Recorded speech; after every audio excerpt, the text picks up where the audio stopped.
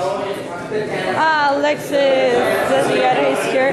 Did you watch the fight, Triple G Lemieux? Yeah, it's good. It's good. Did, were you going for Triple G or Lemieux? Um, I, I knew Triple G was going to win. I think he was just too strong. I didn't, I didn't expect it to be that one-sided though. But it was good. It was fun to watch.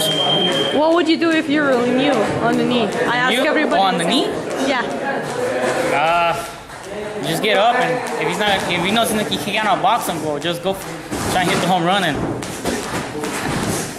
But nah. Well, a lot of people told me they would fake it so they could have rematch or win by decision. Would you do that or no? nah, I wouldn't. No, you wouldn't do that.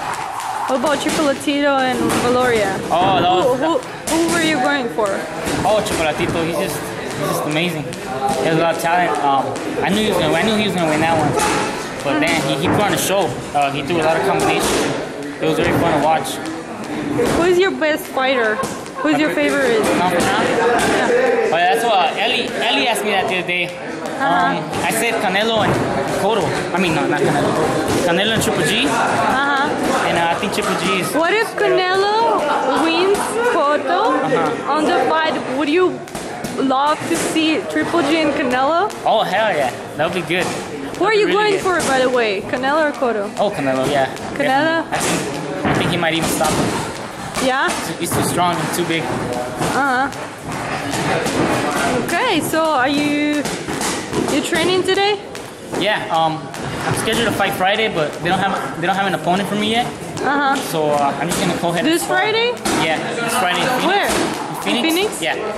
The Iron Boy. Um, scheduled to fight there, but I don't have an opponent yet. So um, I'm gonna go ahead and spar. Uh, If I get an opponent, I'll totally down. If I don't, then I don't. Then I'll just keep training harder.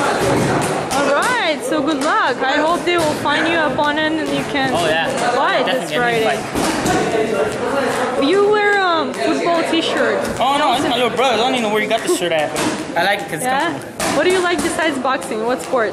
Besides boxing, um, I like to play soccer. I like to play uh, football. I like to play football as well, but I'm too, I'm too small for it. I don't really play. Yeah? I'm, crushed. Yeah. Like when did you start boxing? What age? I started, I, started fighting when I was 13. Uh-huh. Yeah, when I was, Isn't it too late, no? yeah, I, I, thought it was too late, but I mean, I didn't know anything back then.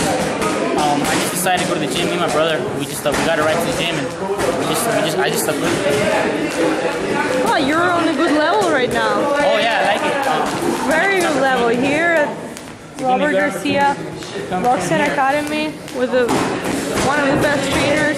Oh yeah, it's a good opportunity, and I'm taking, I'm taking advantage of it. I'm training really hard, and I, I'm already feeling like I'm in real good shape. All right, so good luck. I hope they find you up on it, and Yeah. we'll see you on Phoenix this Friday.